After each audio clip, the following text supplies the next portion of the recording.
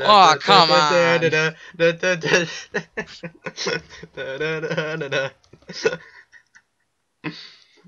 I hope you guys like this short video. See you guys next time. Take care. Bye.